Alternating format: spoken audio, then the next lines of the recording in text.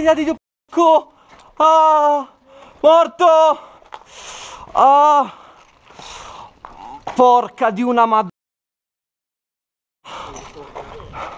Oh, sempre i coglioni mi prendono!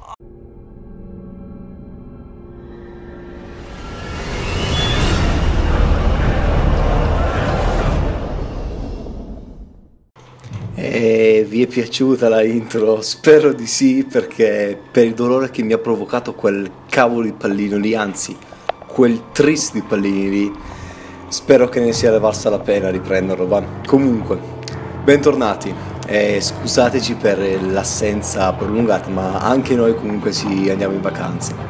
Salve a tutti quanti da S dell'SMT Airsoft, oggi siamo qui a portarvi un nuovo gameplay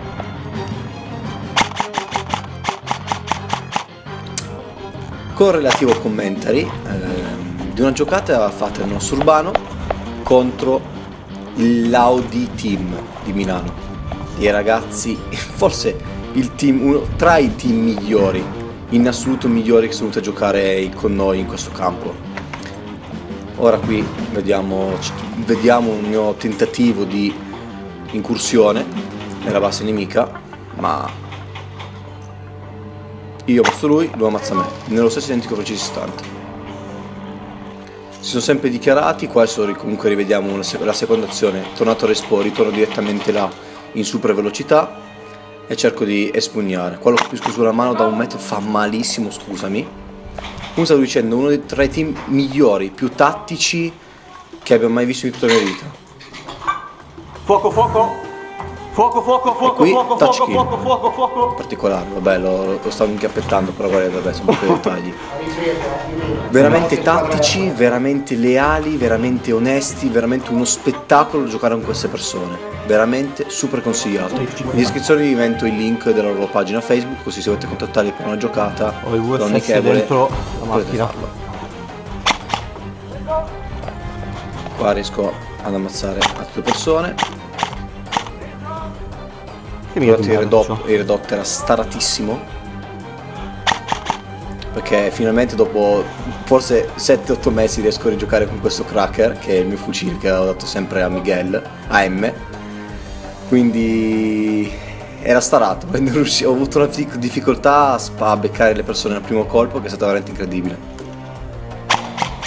Però comunque in questa incursione qua sono riuscito a fare abbastanza kill. Il peccato è che gran parte delle uccisioni dopo, lo so, nelle so. successive, non l'ho potuto riprendere perché mi ero dimenticato di accendere la, la, videocamera. E questa è comunque colpa degli esami universitari, ragazzi. Io ho sempre detto, studiare fa male alla salute, fa male alla salute. Qui cerco di andare a posizionare la bandiera all'interno, la bandiera c'è dietro il mio compagno, ma mamma quelli dico di attendere. Sono veramente posizionati giù bene, uno verso l'altro, uno verso il basso.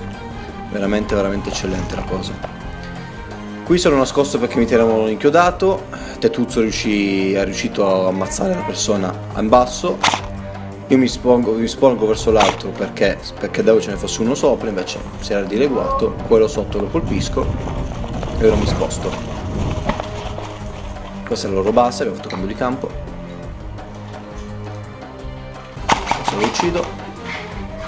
Ne vedo uno no, sopra, riesco a dileguarmi in, in tempo ho rischiato, ho veramente rischiato.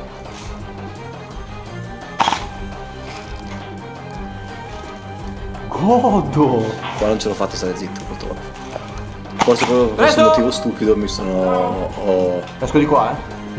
Allora, c'è. Fatto sapere dove, dove era il nemico. Ma so piccoli dettagli, però dai che me frega. Tanto. Andiamo. Non lo so, non lo so come faceva a giocare con le, con le braccia scoperte, veramente non posso saperlo, non voglio neanche saperlo. Infatti è tornato martoriato, sia da zanzare, che comunque in pianura padana sono... Eh, eh, diciamo che è facile incontrarle, molto facile incontrarle, sia per i pallini presi. Ora qua ascolto per capire bene o male quanti nemici ci fossero, erano stati due, uno l'ho preso e uno è lì sulla destra dentro il garage, stavano comunicando tra di loro. I palini, sentite i palini sfrecciare. Rischio.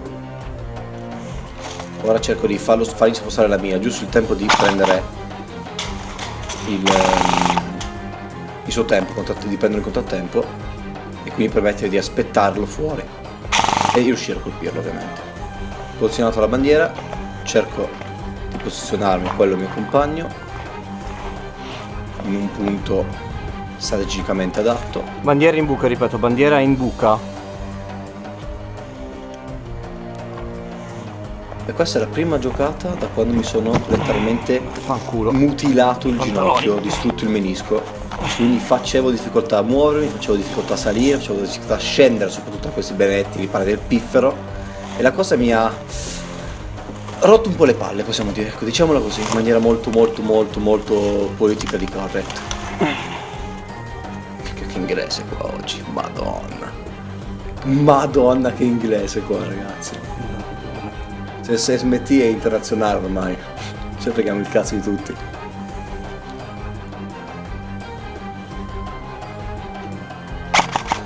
Eravamo circa un 8 contro 8, 9 contro 9, ormai non mi ricordo neanche più sinceramente. Adesso qui scendo dal riparo perché tanto è inutile rimanere. Con molta fatica fidatevi e cerco di organizzare una difesa della bandiera, perché chi alla fine dei 20 minuti ha la bandiera nella buca vince. Quindi eh, si vedrà che Tetto proprio non me caga manco per l'anticamera. Tetto, Tetto, Tetto di qua, Tetto, ok metti di qua. Fantastica la cosa, Manuel, qua dietro. Comunque loro due Dove? adesso difenderanno la bandiera, mi dicono che di qua a destra ci sarà un nemico che non riuscirò a colpire, mi ammazzerà e quindi sono qui adesso per farvi saluti, mi raccomando Giocate Preso. con il livello di team, ne vale veramente la pena. Ascoltate anche voi. Se io guardo i miei amici, mi aspetto che loro abbiano capito, che loro facciano questa cosa. In quel caso, tutti quanti della, della, della fila dovranno farmi un segnale di ok. Ho capito, il segnale di ok è questo. Stop, ascoltate lì.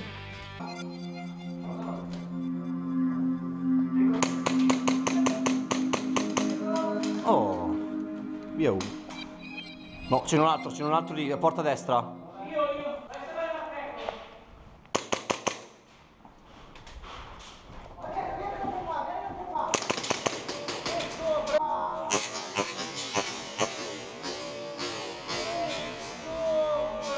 Tu non mi hai preso comunque, eh? Te lo giuro sulla vita che non mi hai preso comunque.